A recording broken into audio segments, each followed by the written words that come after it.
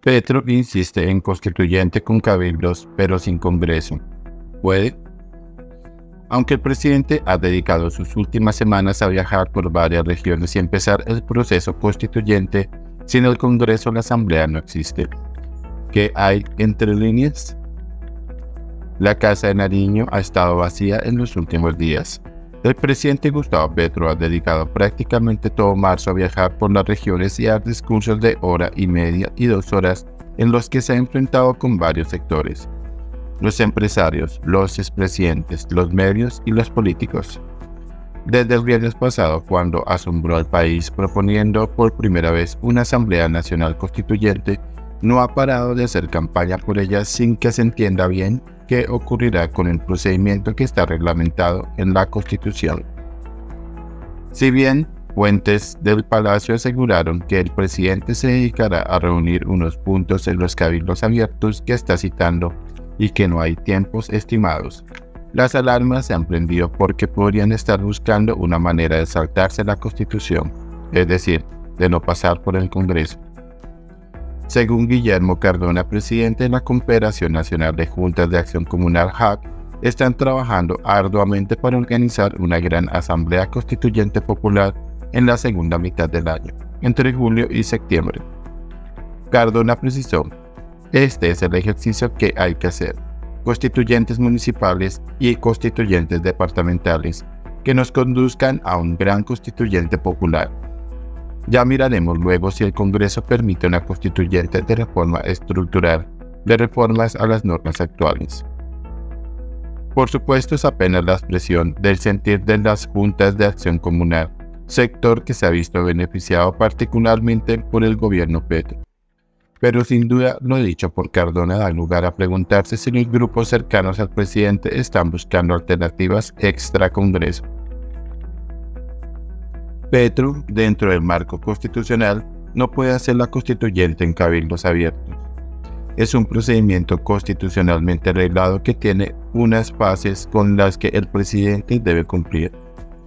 Debe ser propuesta como un proyecto de acto legislativo al Congreso con el voto positivo de 53 senadores y 95 representantes, la mayoría de los parlamentarios, cumplir con los requisitos de la revisión previa de la Corte Constitucional y luego alcanzar una votación de la tercera parte del censo electoral, lo que significa 13,5 millones de votos.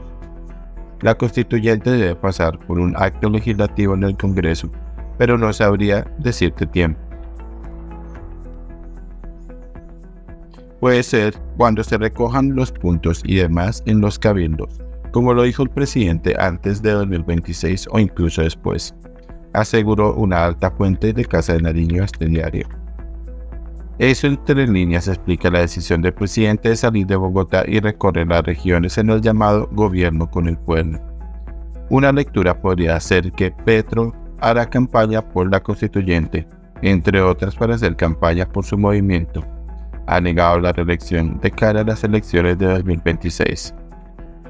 Para el expresidente de la Corte Suprema de Justicia, Jaime Arrunda, se trata más de una acción política de acción constitucional el presidente a convocar a un proceso constituyente advirtiendo que no es para reformar la constitución del 91 ni para llevar sus propuestas de reforma a la salud pensional laboral, que no le caminan en el Congreso y definir una serie de temas que se estudiarían, muy gaseosos, que no son propios de materia constitucional. Lo que en realidad está haciendo es una movilización popular como dice, convocando al pueblo para que se manifieste en el proceso constituyente que ya comenzó. Lo que está haciendo en realidad es política, dijo a este diario. En otras palabras, se trata de reuniones con la gente al estilo de las que hacía en su momento el entonces presidente Álvaro Uribe en cada pueblo. Otro abogado constitucionalista, Sergio Serviche, dijo que es apresurado sacar conclusiones sobre los movimientos del presidente. No es muy claro aún desde la perspectiva práctica a qué se refiere y cómo a materializar los discursos que se dan las regiones. Pareciera que la primera conclusión es que no va a recurrir a los mecanismos de reforma constitucional que están establecidos en la Constitución. No va a recurrir a un referendo, no va a recurrir a una Asamblea Nacional Constituyente y menos va a recurrir a un acto legislativo en el Congreso. Petro ha dicho que un proceso constituyente le corresponde al pueblo y no a los políticos. Pareciera que lo que va a ocurrir es una convocatoria a un proceso constituyente extraconstitucional. Ahí hay varios problemas porque si lo hiciera por los mecanismos legales ya no tiene tiempo y tampoco pareciera tener la fuerza política necesaria. Si lo hace de manera extraconstitucional, se desdibujan las reglas del juego y no es claro si eso está dentro de los límites de la Constitución, explicó. Ese escenario es el que preocupa, pero al que posiblemente se opondrían no solo sectores del país, sino organismos internacionales defensores de la democracia y los derechos humanos. En conclusión, el presidente no podría convocar una asamblea constituyente para cambiar la constitución por fuera de la misma constitución pero el mismo ha pedido que el pueblo esté en las calles y que surja el poder constituyente campesino. Paralelamente, el presidente ha radicado su discurso, quizás de la manera más notoria desde que asumió el cargo, y en las regiones que visita los ciudadanos gritan reelección cuando el presidente inicia sus discursos. Primero derogamos la vetusta constitución de 1886, pero ahora derrocado el gobierno paramilitar en Colombia, dijo Petro este jueves. La primera mención de Petro sobre la constituyente fue el viernes pasado desde Puerto Rellena. Colombia debe ir hacia una Asamblea Nacional Constituyente. Luego, toda la semana se dedicó a explicar su propuesta en Tolú, Montería, San Antonio del Palmito, La Mojana, Tierra Alta, Apartado y Ayapel. En este último municipio de Córdoba, el presidente trinó en Ayapel en modo constituyente cuatro departamentos y ocho municipios en menos de una semana. Da claridad que el presidente está en campaña.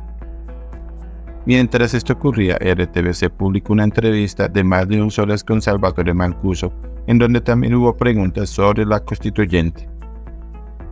Lejos de Ayapel y Tolú, en Bogotá, la reforma a la salud continúa moribunda y la pensional no se debatió esta semana porque los congresistas eligieron responderle al presidente. Lo cierto es que el mandatario no está preocupado por el Congreso. De hecho, sus tres reformas sociales están dormidas en los escritorios de los congresistas que ya ni siquiera las debaten y esperan el archivo en la séptima de Senado luego de Semana Santa. Y entonces, ¿qué pasará con la constituyente?